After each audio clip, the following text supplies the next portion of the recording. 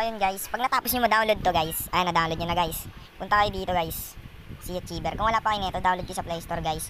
Meron nyo sa Play Store, si Achiever. 3MB lang yan. Click nyo yan guys. Then hanapin nyo yung sa nakalagay. Di ba download yun guys, yan. First, ito guys, ayan, ito siya.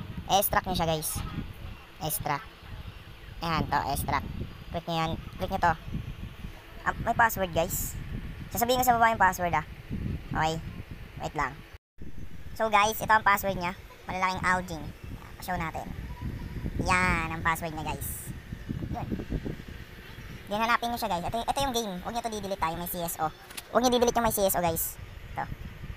Then hanapin niyo siya guys. I-locate niyo kung nasaan pag ilalaro niyo na. Di ba na-download niyo na rin itong PBS PB Gold. Locate niyo siya guys. Dito sa download. Ito. Ayun siya guys. Nakita niyo na siya dyan agad. So yun lang guys. Basic lang. Thank you.